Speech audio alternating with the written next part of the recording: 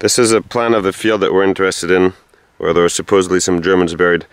And the field is called um, Švapsko Groblje, which means basically Jerry's Cemetery, which is a pretty good sign for us. Hopefully we're going to find uh, what we're looking for.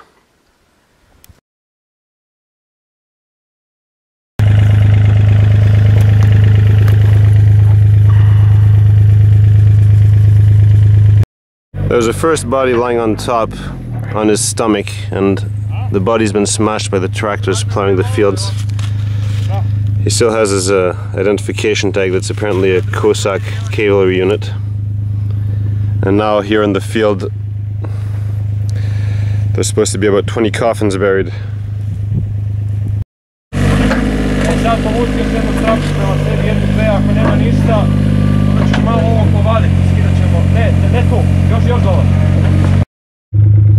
That's wood from the coffins that we can see.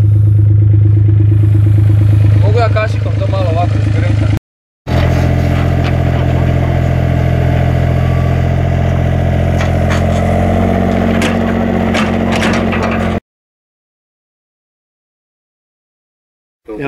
Here we're digging up the first body from the coffin. To je možda, možda inox čak. On his finger he has a death head ring, which is Možda pretty, a pretty rare find. Pa inox ne hrđamo bi trebao to baš tako. Ne, ako je... Here on this soldier's arm, there's these pieces of rubber that looked like they were probably a tourniquet, tourniquet. But we didn't find any wounds on the actual bones. To tu ispred tebe. That might be a cause of death though. To mu je ovo od kašice, većina više ovo. The skull is broken. These bodies were buried in coffins, so some of the bones moved uh, after they were buried and the body decomposed in the coffin. So we just found the jaw now that wasn't in its proper place. And you can see it has uh, some silver teeth, which is quite typical of these German soldiers of the time. This is the second body, and we can see the pieces of wood from the coffin here. And when you lift the wood away, underneath you can see the bones. So this is the arm bone here for the the left arm.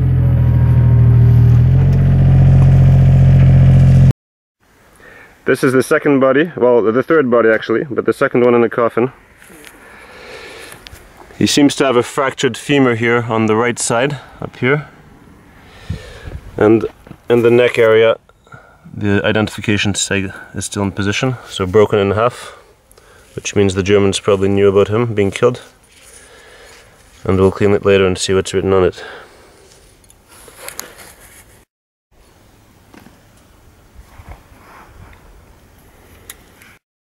This is the femur here and that does look like an old fracture and it would have been a serious wound at the time. So that might be the cause of death of this soldier.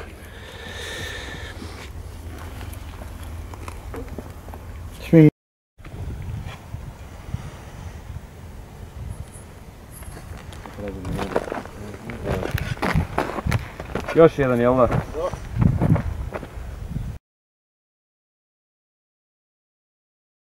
This is the fourth body now, and we just found the the guy's identification tag. Unfortunately, it's one of those late war iron ones, so it's probably going to be completely impossible to read. Evo stigu, stiže. Se da pročitam. So this is the fourth body for today. We don't see any major wounds. The skull was broken by our machine, by our excavator. And as we saw before, he has this uh, iron ID tag that probably will not be readable.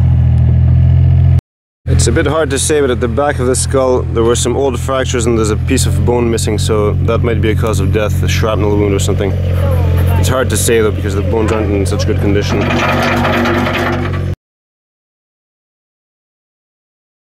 This is the fifth body, so this one was destroyed by the excavator. Only the head and the legs are left in place. The head has, uh, well, the teeth. The head has interesting teeth repairs, as you can see.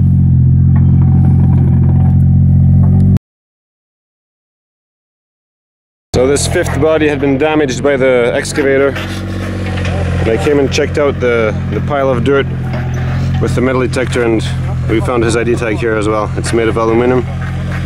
We can't read anything on it right now, but hopefully it'll clean up properly.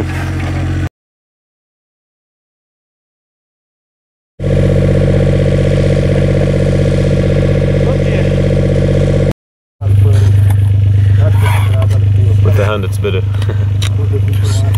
now you're gonna still in good condition. Can you see something written? Perfect.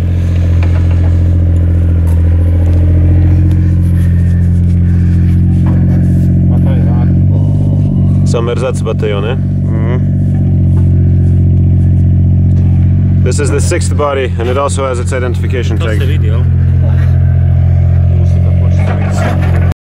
This is the sixth body we're digging up today. It was also damaged by the by the excavator, so it's hard to say anything about the wounds. The skull is broken, but the most important part is that the identification tag is here.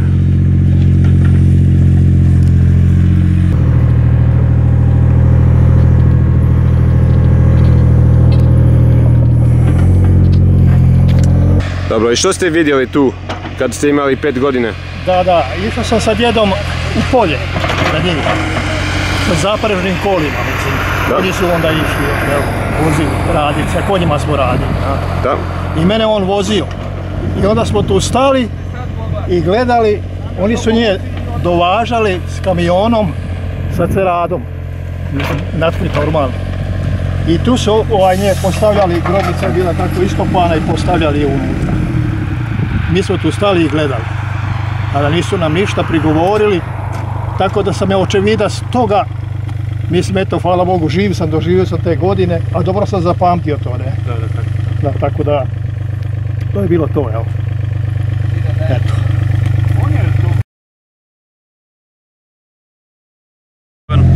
This is the seventh body. He was also wearing an identification tag, once again made of iron, so it's probably not going to be readable. We haven't really seen any obvious wounds, but there's a whole arm missing, but that might have been the excavator because it dug pretty deep in this place.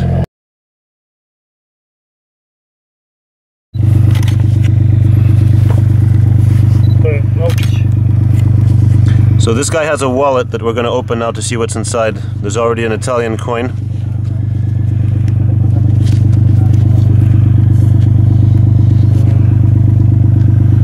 There's some paper. There's a condom. Some more coins. Doktori. Šta ste našli novčanik? A da. Kondom. Novac.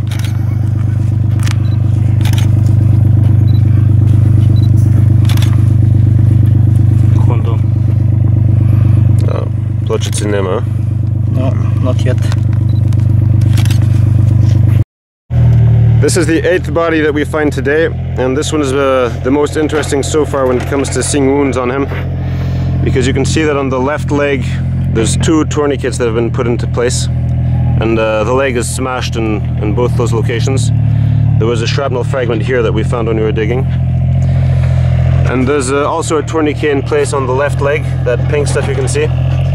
And the lower leg is uh, smashed completely. Apparently, the foot is actually missing. So this guy would have probably bled out, even though a total of three tourniquets were put in place by uh, by the medical team or by his friends. Other than that, we didn't find anything particular, and uh, no identification tag, unfortunately. These are the tourniquets once we've taken them out of the ground. So it's just a piece of rubber that, A, čekaj, možda pisano šta na tome. that went all around the leg.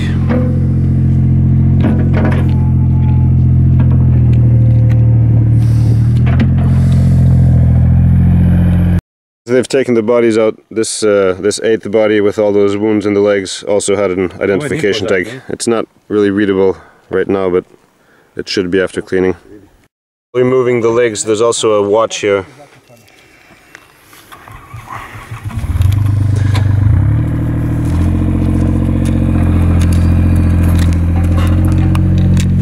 Might be something written on it, we'll see.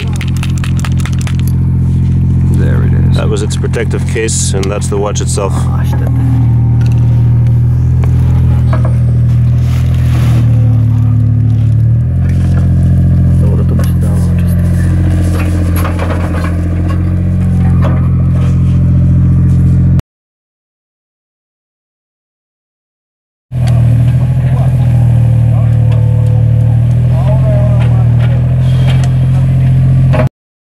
This is the ninth body.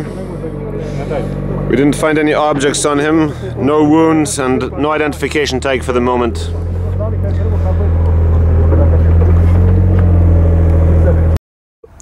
As we were removing the bones here, we also found the ID tag of this ninth soldier.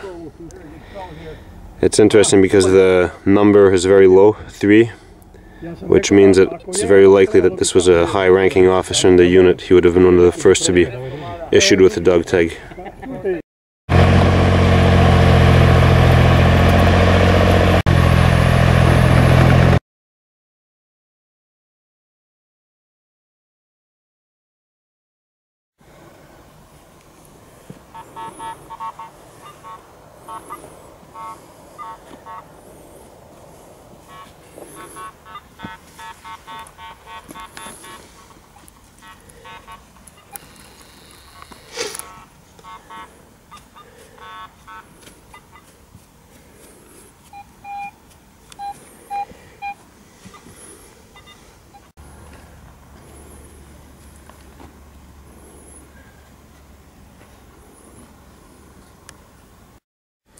This is the tenth body found in the in this gravesite.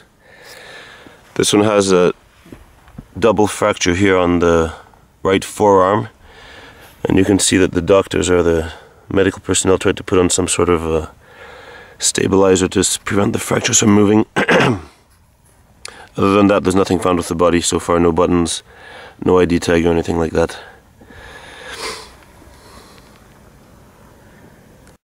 Uh, just as we took out those fractured arm bones, it just happens to be that that's where the ID tag is. So we're going to take it out of the ground now. It's in almost perfect condition, it seems like.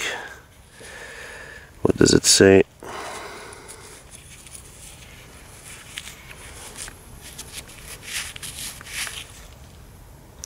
Infantry Ersatz Battalion something.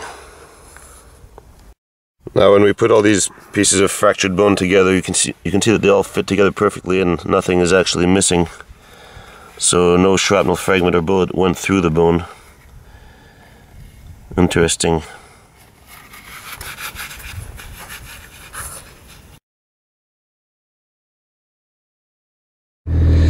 This is the 11th body found in the grave. He has his dog tag in uh, the position where it should be. And the leg is very interesting because you see that there's a stabilizer placed along the whole leg and there's a fractured femur with remains of a tourniquet and uh, you can see there's a round hole which gives the impression that it's probably a bullet wound that completely smashed the femur. We'll see it a bit better when we exhume it in a minute.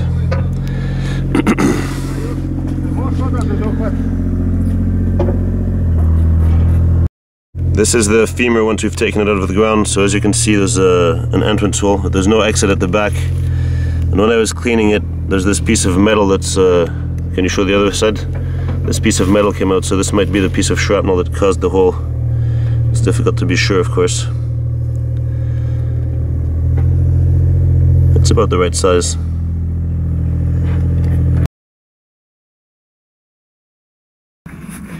This is the 12th body we didn't manage to find any wounds on him. There's just some damage caused by our excavator. And there's no uh, identification tag for the moment. This one was kind of interesting. They put his hands over his chest.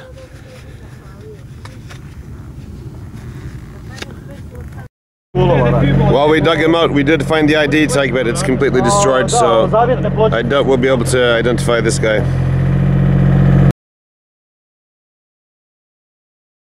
Here we found something extremely interesting. At the foot, at the feet of the 12th body, we found a piece of femur that had been sawed off, so obviously an amputated leg, and then we noticed that there's actually an amputated tibia and part of the femur buried under the body. So you can see that this is the foot here, this is the tibia, and here it's all smashed into small pieces. And then up here there's the amputated femur. So they must have seen the wound was too severe and they sawed the leg off. You can actually see the saw marks and you can see that the surgeon sawed 90% and then the last piece just snapped off on its own. So somewhere in Germany there must be a guy with a leg missing and this is his leg right here. There's also a small piece of shrapnel that was found near the wounded area. As we dig these pieces out, you can see there's another piece of shrapnel stuck on the tibia here.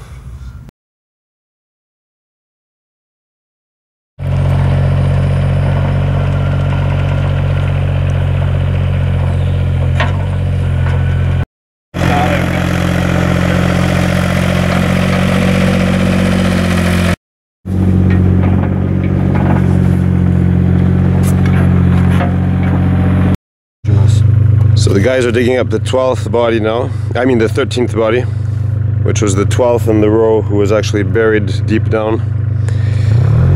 And we've already found the dog tag, which is in very good condition. It'll be perfectly readable after being cleaned. It was way down beside his hip. This is the 13th body. He's going to be a bit hard to film because of the shade. He had his ID tag right down beside his hip. It's still in very good condition.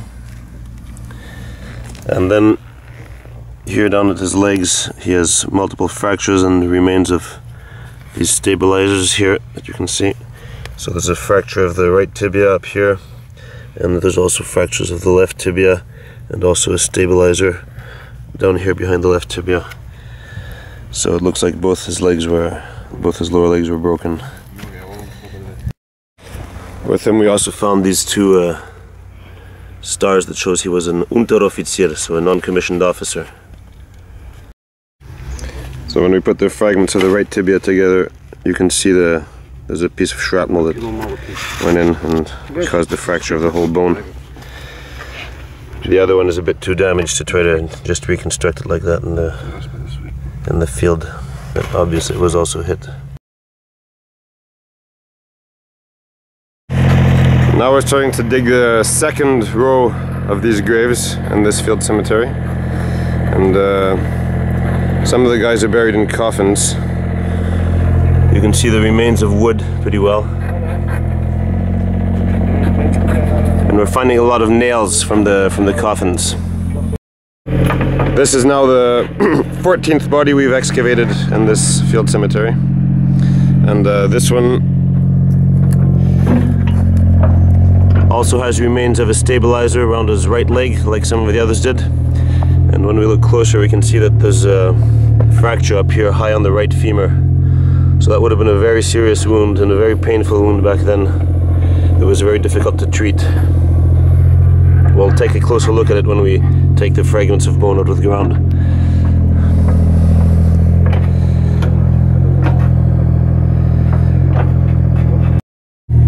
As we exhumed the bones of this 14th body, we just found the identification tag. Is it readable or? Oh yeah, Uh, looks it like it's in be. good condition, eh? And we can also look in more details at the hip wound. It seems like that would probably have been a bullet that would have done that. Exited from the front and exited from the back. Oh, sorry, entered from the front and exited from the back and caused that pretty horrible fracture that killed this soldier.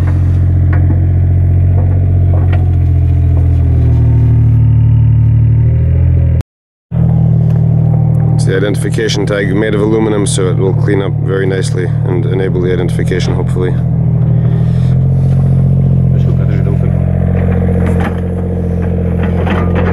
As we're digging up this 14th body, taking his bones out of the ground, this ring came out still on his finger. Probably has some probably has some family initials on it or something like that. Looking at this ring more carefully, it's really hard to see, but it says Athens, and there's a drawing of the Parthenon. So it shows that this soldier had been in Greece before ending up here in Croatia.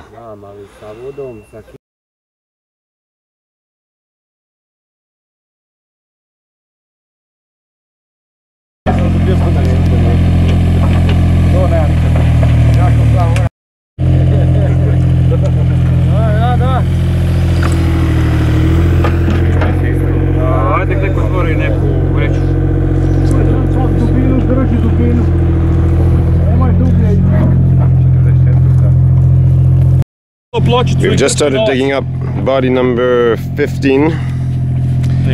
There's an identification tag between his legs, a complete one. And uh, also found with the ID tag, there's this Greek coin So this is a different body from the one who had the Greek ring, but as we can see, a lot of these guys were coming up from Greece to end up in Croatia. So we've just found the the dog tag and coin, and here you can see there's a ring still on the finger. Uh, and this is probably something medical related to a fracture he has. We'll see it afterwards. You wanna take the ring? Sure. Looks like a wedding ring, eh?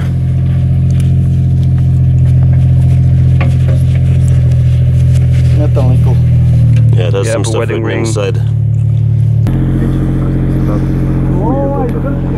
So this guy got married in 1934.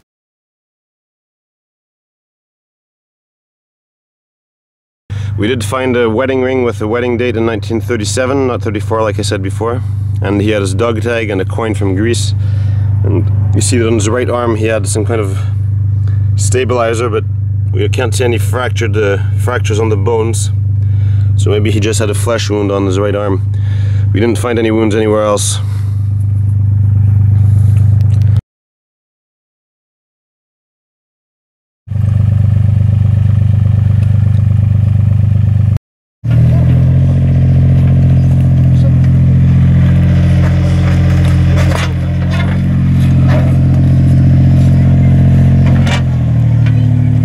This is the 16th body. He had an identification tag. It was in bad condition. And other than that, there's nothing uh, particularly notable about him. No wounds, no rings, no uh, no equipment.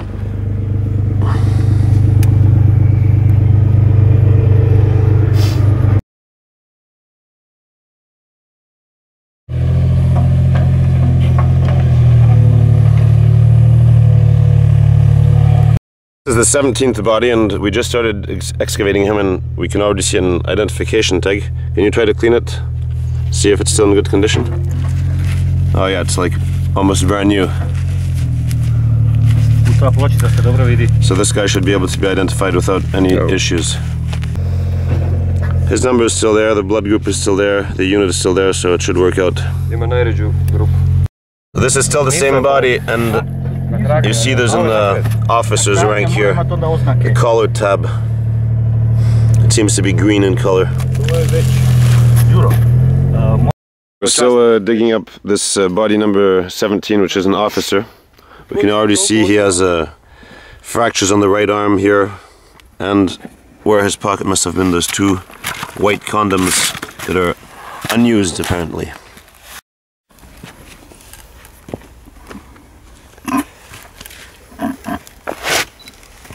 So we finished exhuming the 17th body. We're going to take him out of the earth now. He had his identification tag, as we saw, those officers' uh, badges. And here on the left arm, you can see that there's uh, fractures of the oh, proximal ulnar radius and of the of the humerus as well. You can see here all the fractures. So all the forearm bones are are broken, probably by shell fragments.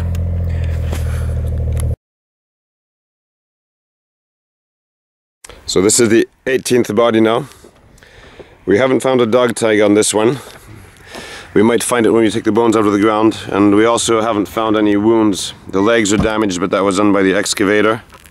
And up here, everything seems to be more or less intact. We haven't excavated the skull properly yet. We might find a wound there. So we just started excavating this body, and uh, looks like there's a shrapnel wound here in the forehead. And uh, just in the chest area, we found the identification tag. Still in very good condition for a pioneer battalion. So this is the 18th, the 19th body. Uh, we did find the dog tag before, and there seemed to be a shrapnel wound on the forehead here. And other than that, there's nothing particular. But a shrapnel wound could be enough to explain his death, of course.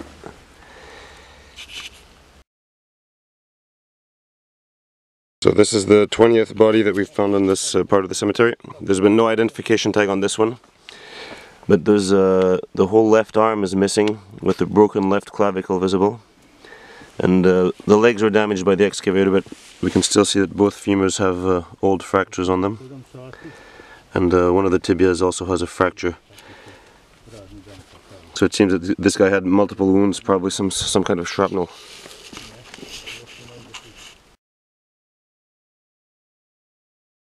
So as we've been taking the bones of this 20th body out, we did find an identification tag, but it's not German. So we're gonna have to figure out what country that's from, because I don't know off by heart, just by seeing it like this. There was also a strange looking badge on the arm that didn't look German to me. So this might be somebody from one of the Axis countries.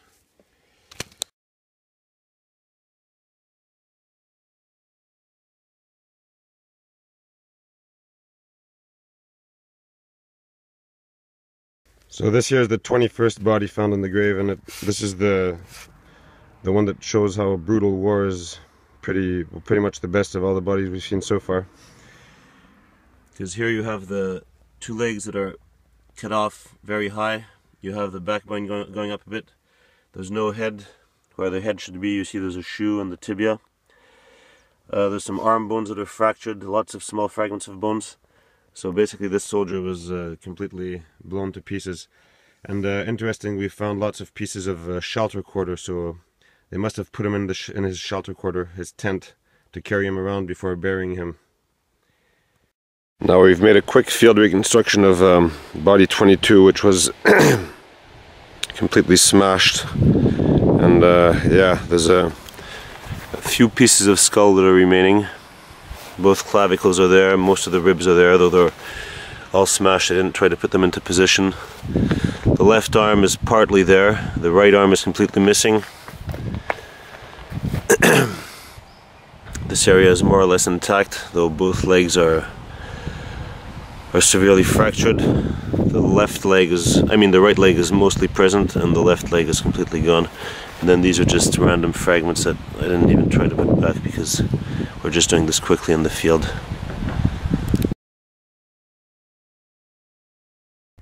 We're now digging up body number 22. We just found his identification tag in place.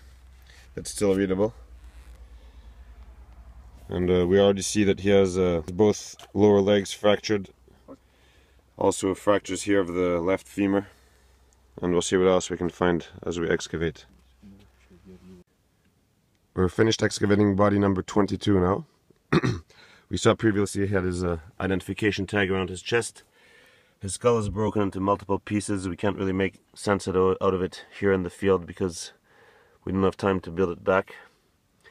We did, however, see that there were quite a few shrapnel fragments in his body, and there's a fracture here of the uh, right femur at the bottom. Then there's a fracture of the right tibia, also at the bottom, and a fracture of the left tibia. There's still one shoe left over. The Germans probably left it there because it was covered with blood or something, or maybe even damaged. Otherwise, they would have uh, taken it off like they did for the other bodies.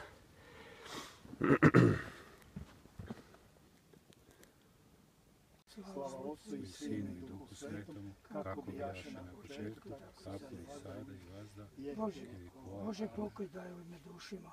Ime Otca i Sina i Duha Svetog.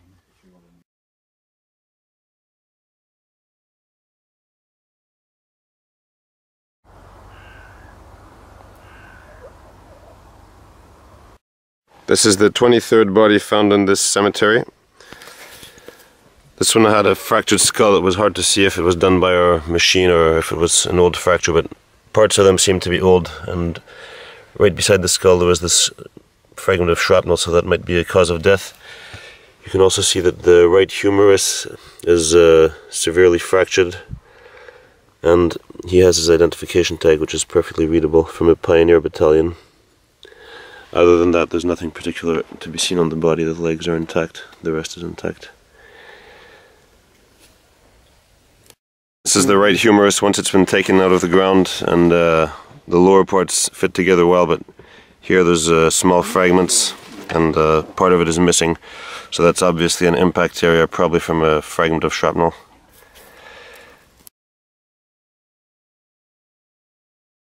This is the 24th body now, and we've just found his identification tag on his chest where it should be.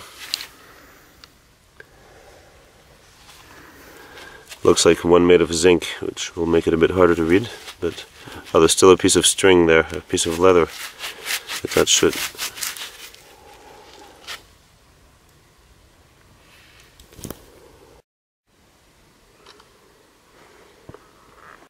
This is the 24th body. So apart from the identification tag, we've also found a couple of fragments of shrapnel with the body. There was one in this area, one in this area. And the skull is completely smashed and it's not our excavator that did that, so he must have been severely wounded in the head and must have died immediately.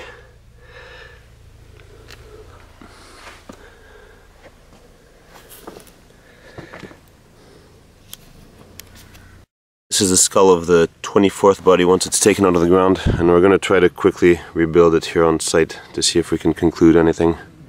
Oh. We're quickly trying to reglue it here in the field to see if there's any wounds on it. Of course it's not as good as being in the lab but as you can see we're getting some results. We'll see in a few more minutes what it looks like.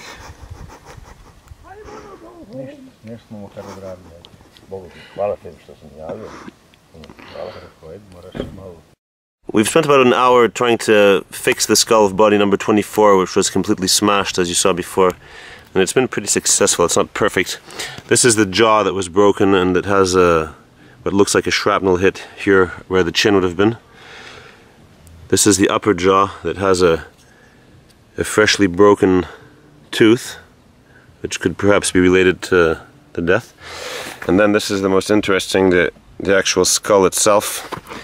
So this is looking from the left side. We didn't reconstruct the face because that would take a long time, but as you can see we don't have to because there's a very obvious impact here and the, on the left side with the kind of radiating fractures that, that radiate out of this central impact. And then if we look at the other side, it, it looks like there's an, a small exit hole. That could just be by chance, I don't know, it might be a fragment of bone that broke off on its own, or it could be a, a fragment that exited on that side there. So that's about one hour of work and it confirms a cause of death from shrapnel wounds.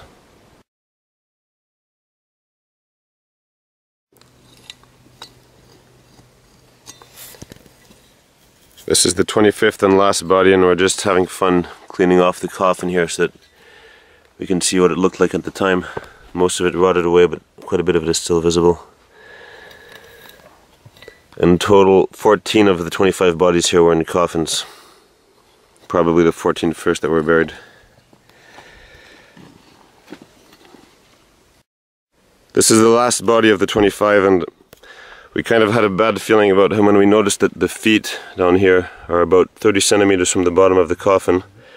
So that means he's buried really high up in the coffin. And that impression was confirmed because, as you can see, all the legs are intact. But then, as of the thoracic area, the whole body is missing. There's no chest, there's no head, there's no arms. So the guy is, uh, there's just actually half a body in here. So he must have been uh, hit by a shallow. Anyway, something violent happened to him.